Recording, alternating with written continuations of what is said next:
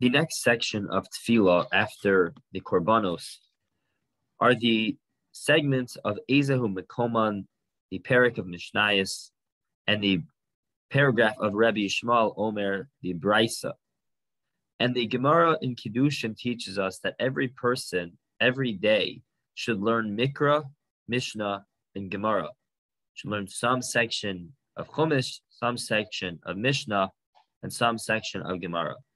And the Shulchan Aruch in Siman Nun, Siman 50, writes that that's why it was instituted to recite Ezehu Mekoman and Rabbi Yishmael after the Korbanos, because the Korbanos count as the Mikra, Ezehu Mekoman counts as the Mishnah, and Rabbi Yishmael Omer is a Brisa, which counts towards the Gemara.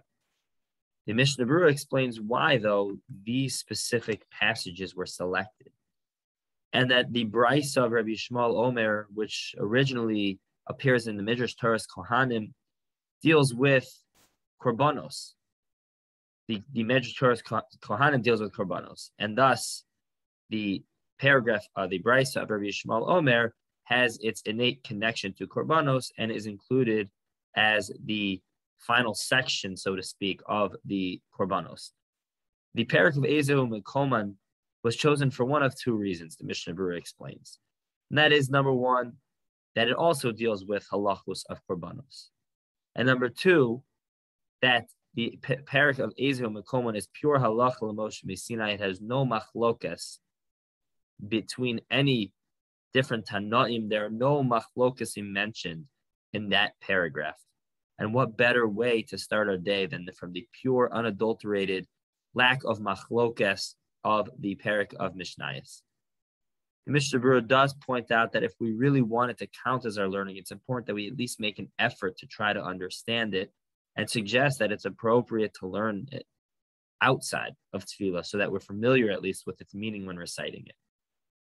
However, the point that I'd like to draw from here for us is that as we begin our day after we've mentioned the korbanos, the innate connection between us and Hakadosh Baruch Hu is that we remind ourselves of the different segments of Torah, of how Torah is a complete package, and how we each have a necessity to draw ourselves close to that Torah and to associate ourselves with all segments of the Torah to the best of our ability.